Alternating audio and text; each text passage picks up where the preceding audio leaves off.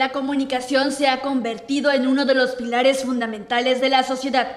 Es crucial contar con profesionales capaces de ejercer su labor con principios y ética, enfatizó el rector de la Universidad Juárez Autónoma de Tabasco, Guillermo Narváez Osorio, durante la inauguración de las actividades del 33 aniversario de la licenciatura en comunicación de la División Académica de Educación y Artes. En el Centro Internacional de Vinculación y Enseñanza de la UNJAT, Narváez Osorio estuvo acompañado por el secretario de Servicios Académicos Luis Manuel Hernández Gobea y el director general de Comunicación Social Juan José Padilla Herrera, entre otros invitados. El rector de la máxima casa de estudios indicó que más del 60% de las personas en América Latina obtienen la información a través de las redes sociales. Por tal motivo, el comunicador debe de tener un compromiso con la verdad, lo que obliga a estar en constante actualización. La comunicación se ha convertido en uno de los pilares fundamentales de nuestra sociedad. Con el surgimiento de las plataformas digitales, las redes sociales y los, medios tradicionales, el papel del comunicador es esencial para que podamos comprender y también interpretar y transmitir la información de una manera más eficaz.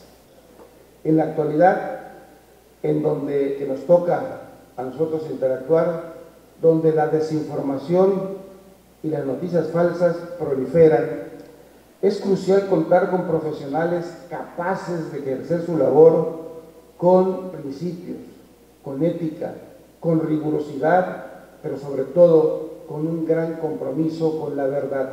Por su parte, el presidente de la Academia de Comunicación de la UJAT, Erasmo Marín Villegas, expresó que tienen claro que se deben de formar estudiantes con sentido ético y responsabilidad ciudadana. En la licenciatura de comunicación tenemos claro qué capacidades deben tener los universitarios.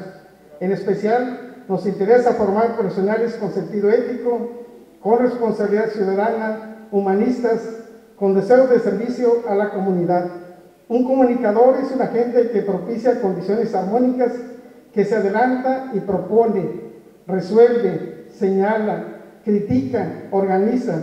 Su ámbito de acción va más allá de los medios de comunicación convencional y digital. También su participación es elemento clave al, interior de las instituciones. En el evento, la Academia de Comunicación entregó al rector de la máxima casa de estudios una estatuilla alusiva a la carrera. Las actividades del 33 aniversario de la licenciatura en comunicación de la División Académica de Educación y Artes constan de conferencias magistrales, conversatorios y pláticas, entre otras.